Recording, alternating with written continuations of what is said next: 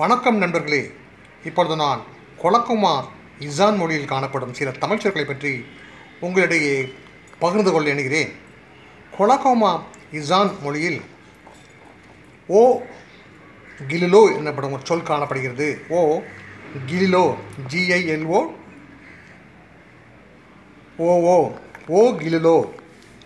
ஓ கிலிலோ என்ற சொல்லுக்கு பொருள் என்னவெனில் நேச்சுரல் ஸ்ப்ரிங் என்பதாகும். நண்பர்களே ஓ கிலிலோ என்ற கொலக்கோமா இசான் சொல்லில் கா லா போன்ற கன்சனன்ஸ் உயிர்மை எழுத்துக்கள் காணப்படுகின்றன. இடையில் இம் என்ற எழுத்தை சொருகி நீங்கள் குமிழ் என்றே படிக்க வேண்டும். குமிழ் என்றால் ஸ்ப்ரிங் என்பது பொருளாகும்.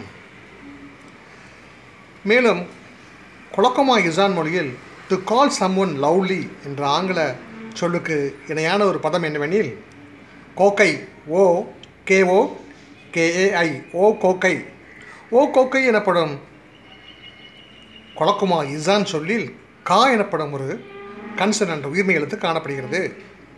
கா ஈக்குவல் டு வா வா ஈக்குவல் டு கா என்ற சூத்திரத்தின் அடிப்படையில் கொகை என்ற சொல்லை நாம் கூவுக என்றே படிக்க வேண்டும். ஆக கூவுக என்ற தமிழ் சொல்லானது அங்கே சூத்திரமாக கோக்கை என்று வழங்கப்படுகிறது. The Tamil word for spring is குமில் it is there in கொலக்கோமா இசான் லாங்குவேஜ் as ஓ கிலிலோ the Tamil word for to call someone lovely is கூவுக it is there in கொலக்கோமா இசான் லாங்குவேஜஸ் கோக்கை தேங்க்யூ ஃப்ரெண்ட்ஸ் நன்றி நண்பர்களே. நாம் மீண்டும் சந்திப்போம். வணக்கம்.